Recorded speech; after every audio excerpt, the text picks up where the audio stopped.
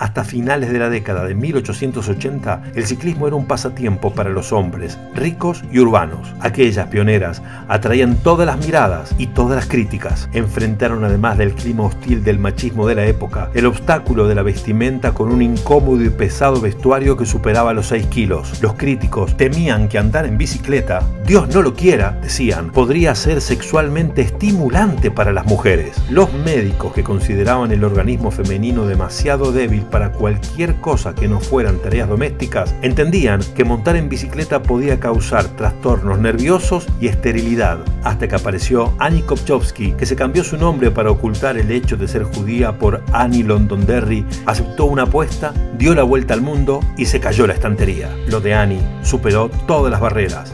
Fue mucho más que una vuelta al mundo en bicicleta.